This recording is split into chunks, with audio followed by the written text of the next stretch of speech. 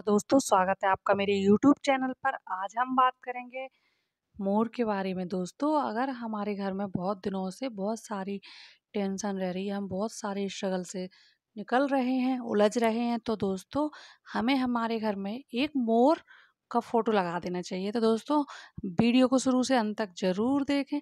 तो आज हम बात कर रहे हैं मोर के बारे में। मोर एक राष्ट्रीय पक्षी है।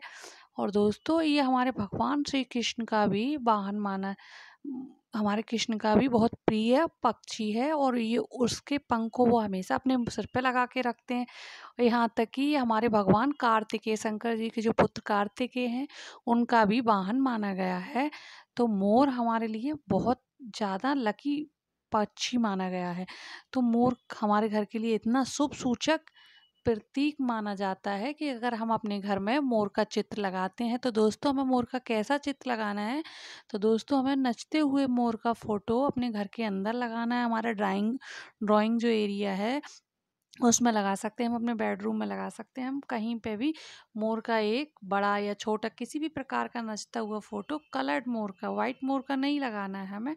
जो हमारा ग्रीन मोर होता है, उसी का लगाना है, नीले कलर वाला। तो उसका हम एक चित्र अपने घर में लगाएँगे और हम देखेंगे कि इससे हमारे घर की तरक्की बहुत तेज़ी से होने लग जाती है, हमारे घर में सुख शांति आती है और हमारे घर का माहौल धीरे धीरे अच्छा होने लग जाता है और हम जो स्ट्रेस तनाव से जूझ रहे थे, उससे भी हमें निजात मिल जाती है। दोस्तों, अगर आपको मेरा वीडियो पसंद आए तो लाइक करें, सब्सक्राइब करें। वीडियो देखने के लिए आप सभी का बहुत बहुत धन्यवाद।